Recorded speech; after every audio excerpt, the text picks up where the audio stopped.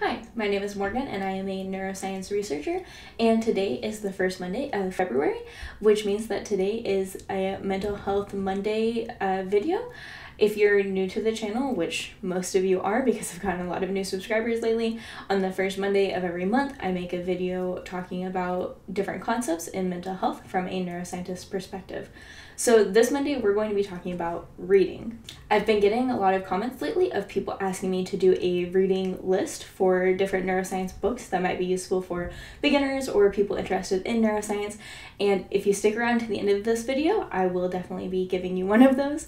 But it made me start thinking about um, reading as a mental health concept, if, if there are any real benefits to reading versus watching videos versus listening to podcasts or things like that. So, I want to begin this episode by saying that I did a lot of Googling and a lot of searching for different uh, scholarly articles about reading, and honestly, it was really difficult for me to find real scientific papers in uh, reputable journals about how reading affects your brain or how it influences it. There's some research out there on how reading uh, fairly bilinguals affects your brains, but I really wanted to do this from a mental health perspective and not so much a like what is happening in your brain when you're reading. So, all of the information that I'll be giving today is mostly coming from articles that I found online that um, I believe to be reputable, but of course, take everything with a grain of salt. I will be linking in the description all of the articles that I used as always. The first thing that I found in regards to reading and your mental health is that reading actually increases our empathy for others. Specifically, reading fiction stories and sort of inserting ourselves into other people's shoes really helps us to imagine what it's like to be another person, and therefore it helps our, our ability in everyday life to be able to relate to other people because we have this experience of putting ourselves in each other's shoes. It can also help with our ability to understand interpersonal interactions because often fiction stories are written from sort of a third person point of view or an omniscient point of view where you're able to understand the thoughts of multiple characters and see why they're interacting with each other in the ways that they are.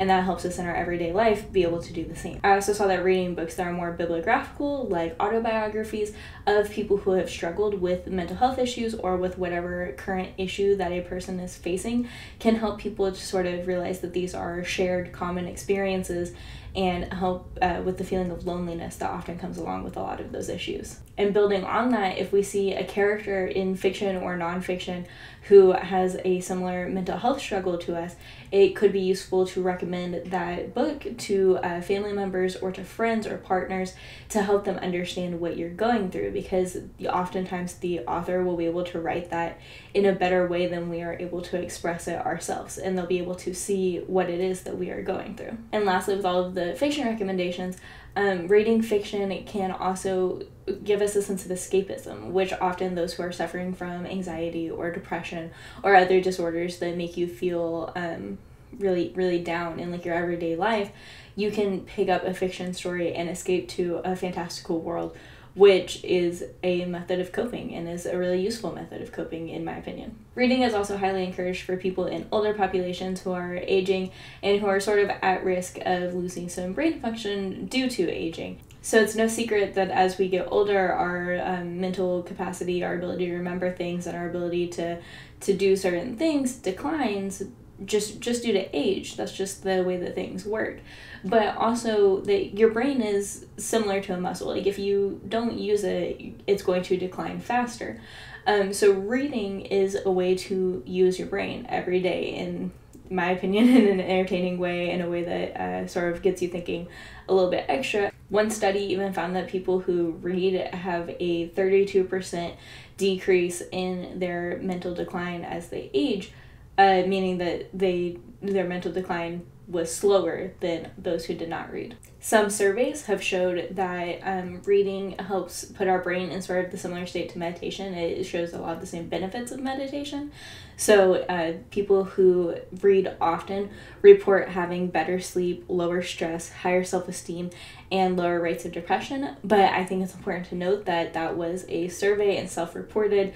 So, um, I always take those studies more with more than a grain of salt than uh, scientific studies. But that's the neuroscientist coming in more than the psychologist. Lastly, I thought it was really interesting to find that there is a type of therapy called bibliotherapy, where either a therapist or a library guides you through a strict reading schedule. And these uh, schedules and these programs are often promoted to people struggling with mental illnesses. One study found that these uh, programs decrease depressive symptoms in uh, people who undergo the programs, but that was one study, and there's a lot of extensive research that needs to be done before this is sort of validated as a form of therapy. So, unfortunately, that was really all that I was able to find on reading as it relates to mental health. I would like to make a video in the future about just how our brain works whenever we're reading, but since this is Mental Health Monday, I thought I would just focus mostly on mental health. If you know of more resources people could learn about this, please link it in the uh, comments and I'll be sure to promote that wherever I can. But onto some book recommendations because people have been asking for it. Specifically, uh, Vincent and Passerby, thank you so much for asking for this in the comments. It made me do a lot of asking people about books, which I think is always a fun conversation to have. So, some of the books that I'm about to recommend are books that I have read and that I really enjoyed, and some are ones that my friends and colleagues have recommended to me. All of the books that I'm about to talk about are written on a level where the everyday person would be able to read it and understand it. So, if you can watch my videos and understand the words that I'm saying, you'll be able to read these books and find them interesting, I promise. The first book is the only one that I have a physical copy of, and it's called Why Zebras Don't Get Ulcers. I think this is a really good one to recommend during a Mental Health Monday because it is all about mental health and about stress. The angle that this book takes is that um, the way that stress in a human works is somewhat different from the way that works in an animal because your stress response is sort of based in your flight or fight response and the flight or fight or flight response is meant to shut down at some point because the concept of why zebras don't get ulcers is that they're not able to worry about things in the future. So they're just worried about immediate dangers and immediate dangers go away.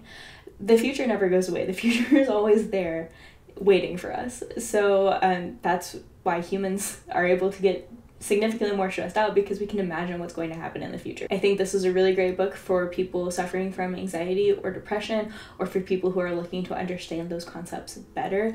It does give uh, I think there's a whole chapter in coping with anxiety and I think I found the book really useful. Another one is called This is Your Brain on Parasites, which I know is going to remind a lot of you of This is Your Brain on Drugs. Don't think about that. but This is Your Brain on Parasites talks about different parasites that go into your brain. It talks about parasites in different animals as well as in humans, and it does in fact touch on the parasite that is in cat litter that gets into your brain. I promise. It's very interesting. I like it a lot. Um, I highly recommend. Except I don't think it's a good book to read like if you're squeamish about parasites. I know I get very paranoid about them because you can't see them and you don't know when you have them. So um, heads up on that. I think it's fun to read books written by uh, neurosurgeons and neurologists also because I think it gives you a different perspective from a neuroscientist. Um, because while they do know a lot about the brain, they don't look at it, I think, in the same way that we do, but they do interact with it more often than we do because a lot of times neuroscientists are working with animal models and neurosurgeons and neurologists are working with humans.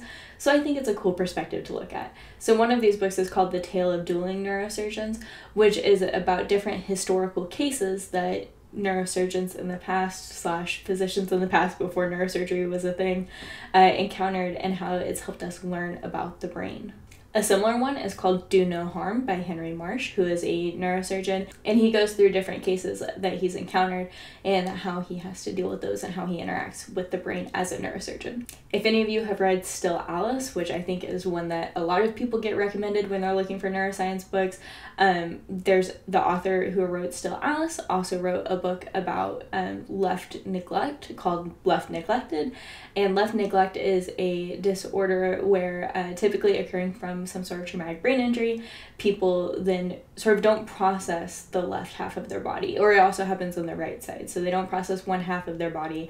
Uh, in cases like this, people who grow beards often won't shave that half of their body, or people who wear makeup won't do makeup on that half of their body, and they don't realize that they're doing it. Their brain just doesn't perceive that half of them. If they're drawing a picture, they won't draw the left half of the picture It's a really fascinating disorder, and this author wrote it similar to Still Alice as uh, the case of a person going through this disorder, but I believe it is fictional. Lastly, I highly, highly recommend the book What It's Like to Be a Dog.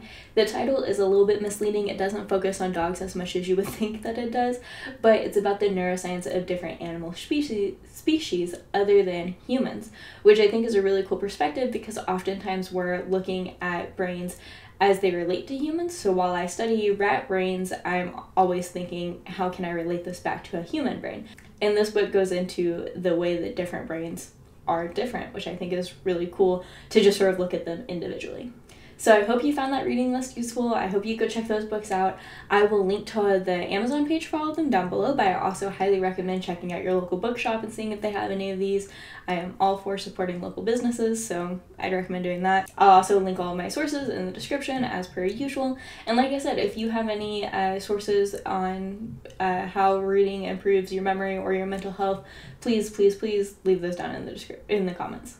And lastly, if there are any mental health topics that you would like to see me cover, please feel free to comment them down below or email them to me at askaneuroresearcher at gmail.com. And you can also reach out to me on all my social medias, which I'll list here. And with that, thank you for watching this video, and I'll see you next Wednesday.